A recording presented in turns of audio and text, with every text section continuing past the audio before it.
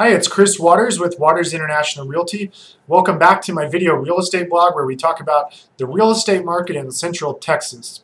Um, before I begin with what we're going to be discussing today, be sure to check out at the top of our video real estate blog or on the right hand side of our uh, video real estate blog where you can get up-to-date information on the most up-to-date listings you will find online. This website is literally updated every single hour, so you don't have to be worried about finding some home you fall in love with and then poof, it's gone. Also, we've got our home value estimation tool where you can find out instantly what your home would be worth, and this is from a low end to a high end range. Okay, so the topic of discussion today is what are the four biggest mistakes sellers make? Okay, so number one is not getting a pre-inspection completed on your home prior to going on the market. So contrary to belief, this is one of the best ways to get the highest return on investment. Ultimately, whoever ends up buying your home, there's a very high likelihood that they're going to get an inspection completed on your home. And a lot of times, those inspection reports are going to reveal something that's wrong with the property. And it's better you know in advance prior to the buyer finding out because what ends up happening is you're not negotiating as a seller from a position of strength and knowledge, right? So a lot of times what a buyer might do is they might find out through the inspection that, for example, your dishwasher's out and that dishwasher may only cost $500. But the buyer is going to go to the seller and ask for a $1,000 price reduction because they're going to go online and find the best dishwasher, the ones that the one that they really want.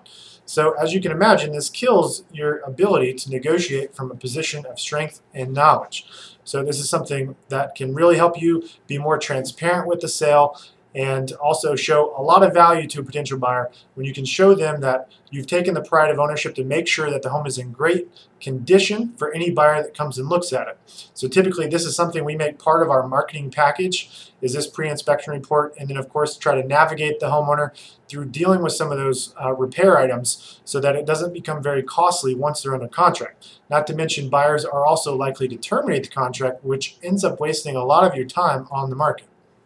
Okay, the second biggest mistake uh, most sellers make is overdoing upgrades. So, you know, HGTV is super popular right now. You see all the work people are doing to the properties. But in the Austin, Texas and surrounding areas, on average, you are not going to get a positive return on investment. So if you do upgrades or lighting or up, upgrade the flooring, you're getting pennies back on the dollar. So if you spend $100, for example, on upgrades, you're only going to get back 30 to 40 cents on the dollar for your upgrades. So if you're thinking about doing upgrades, I would highly recommend you steer clear of doing that and instead uh, focus on things that are going to help you net a positive return, which yield, uh, which moves actually into my third point, the third biggest mistake sellers make, which is not getting their home staged.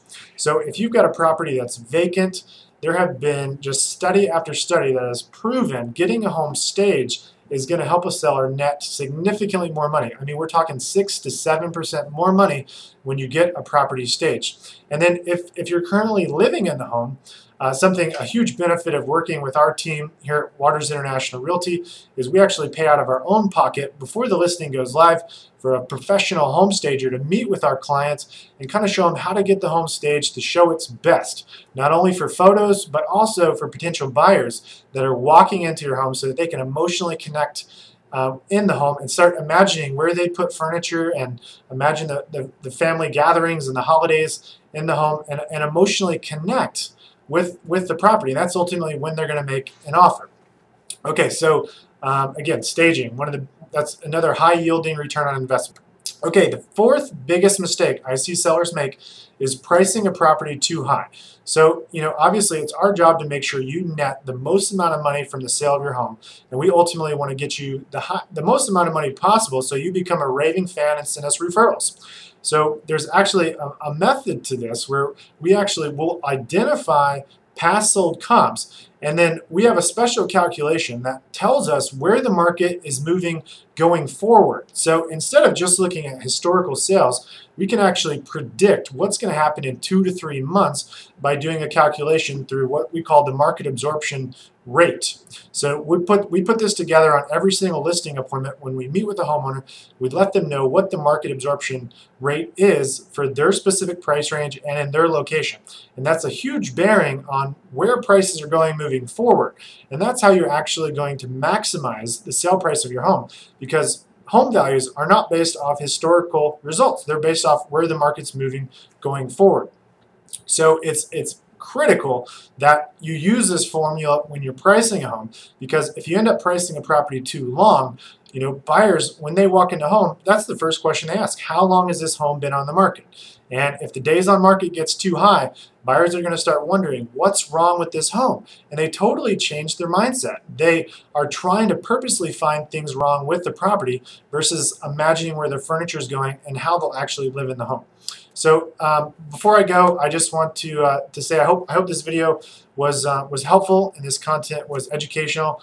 Uh, but most importantly, if you're thinking about selling, don't forget at the top of our website here, you can uh, find out instantly what your home might sell for. Um, also, we've got an up-to-date uh, list of properties for sale. It's updated every single hour. You can get the most up-to-date listings just through our website and look at properties for sale just like we do as real estate agents. So thanks for watching and please come come back and uh, check out some more of our educational videos here on our real estate blog. Take care.